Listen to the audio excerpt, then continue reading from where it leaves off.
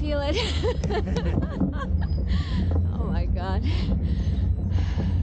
June 17th. Good morning from Canmore, everyone. It is a a bit of a rainy day, but there's something stunning that I want to show you specifically. Look at those clouds and look at the mountains. Wow. What a morning. What a beautiful sight. Before we head to Cochrane today, we have a few errands to run in Canmore. And before we ride off, I wanted to give a huge shout out to our host. Thank you. You know who you are. We so appreciate your kindness. Thank you. All right, everyone, let's get on the road and let's get this ride started. Uh, yesterday, I washed my drivetrain. So the chain and the cassette are looking absolutely spectacular. The bike is handling very nicely. Not that it wasn't before, but you know, it's good to have a clean drivetrain. So um, I also want to share what I did. So yesterday I went to a bike shop and I asked them for some Muc-Off bike cleaner, but the Muc-Off bike cleaner comes in these massive bottles and I just don't want to carry a one liter plus bottle on a bike. So I went to Canadian Tire and I got this little spray bottle. And basically the bike shop just kind of filled it um, with that solution and they didn't charge me for it. So thank you so much, Bike Shop in Canmore. And now I just have a little bit of uh, degreaser in here as well. And I'm just going to keep it in my pocket for when I need to clean the drivetrain or the chain next. Yeah, so this is my solution for cleaning on the go. Observations from the road. I'm inching my way into Exshaw. I'm about one kilometer away from it. I'm riding on 1A and what I've noticed on this road is that truckers, the few truckers that do ride on this road are very aggressive. I quickly realized why there were so many trucks on this road when I passed the Lafarge cement plant. So if you plan to ride on Highway 1A through this area, keep your eyes open for less than kind drivers. But as it turns out, Highway 1A is also very popular with cyclists, bikepackers, and people on touring bikes, and I was just about to meet a world traveler. So everyone, meet Yusei. Oh my god! I meet so many cyclists today. Yes, yes. Uh, before you guys, Uh-huh. uh, three guys. Three guys. Oh, I just met a cyclist from Japan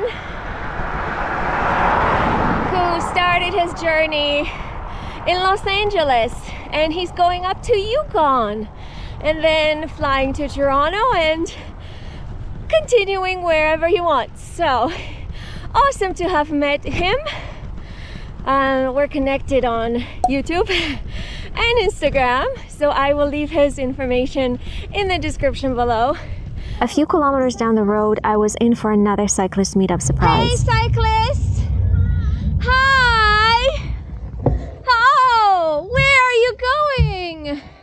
Whenever someone asks me, why are you riding solo? Aren't you scared of riding solo? I always tell them you meet so many other cyclists on the road. And I met two other cyclists, Deb and Tom. Hi. How are you doing? There you go. Where are you guys from? We're from Yorkshire in England, small town called Scarborough, and we've been travelling a year, a year, well, a year on Tuesday.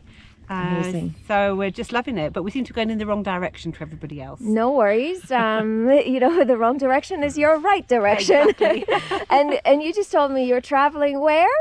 We're going all the way around the world. around the world around the world makes you know crossing canada a bit of a joke Oh, I don't know. it's amazing no I, i'm joking it's, it's a huge effort regardless but this is amazing so uh, you just took time off work or you can Yeah, well, Yeah. Mm-hmm. Tom's taking like a career break, and I used to have I used to have a bike shop, so I sold my part of the bike shop, and um, we bought rented out the house, bought some Yeah. bikes, and yeah, so just taking a few years out because we don't do it now, we'll get a bit too old. So that's uh, amazing go and you have a youtube channel as well do you want to share what it is Yeah, we do. We do. It's called debsandtom.com.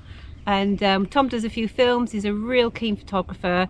And then I write a little diary so we can remember what's Yeah. happened. And so that's there. And if people want to look at it, it's brilliant. Yeah. amazing thank you so much Nice to so talk. I will leave all the, that information in the description below so that you can follow them and you can also leverage the information that they share on their blog and their website and on their YouTube channel. And again, you always, always meet other cyclists on the road, like we just saw with the Japanese cyclist a moment ago, and now with these two. So awesome. All right, let's ride. Look at this landscape. So very different than the mountains. And it changed so quickly too. The riding is good. 1A here is very, very quiet. Today is Friday. We were puzzled as to why there was so much traffic on 1A, but it is, well, at this point, it's quarter to four. And I'd say around 3 p.m. the traffic increased substantially. So this, you know, two-lane highway is very highly used. School buses, cars. Welcome to Cochrane! How the West is now. Well, what a tagline, what a tagline. Hello everyone, welcome to June 18th, just leaving Cochrane.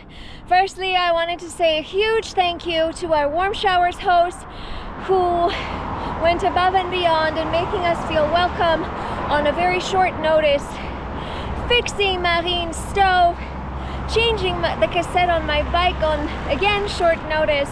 Thank you so much for taking amazing care of us.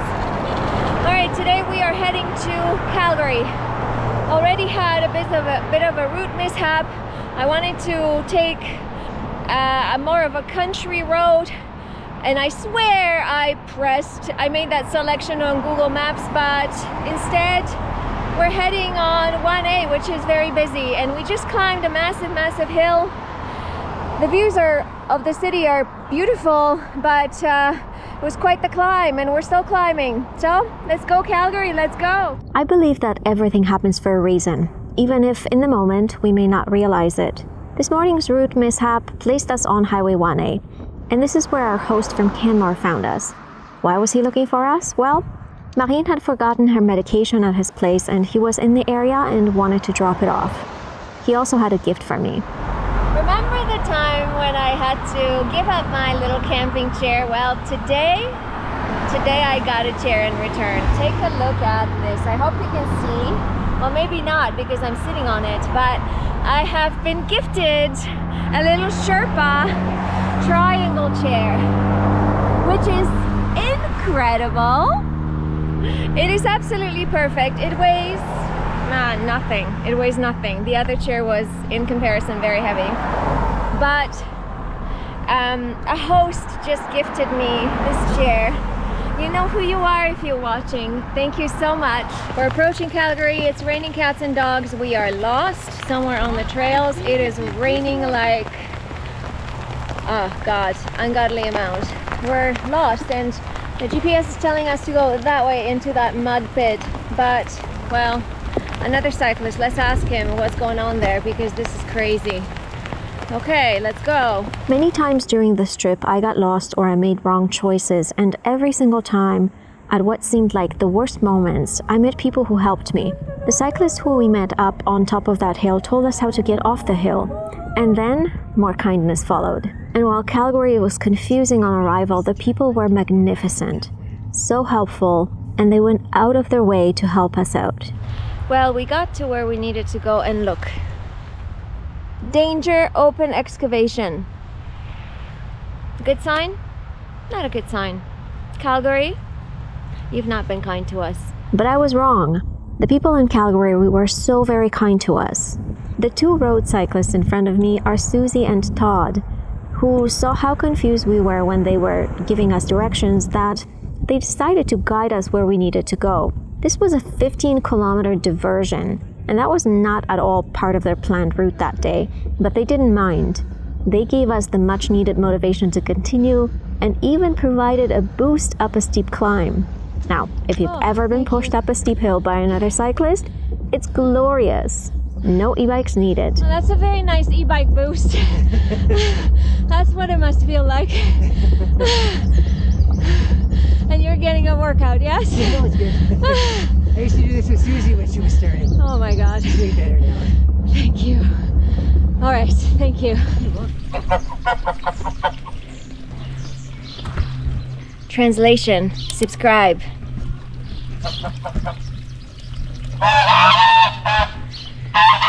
And hit the like button.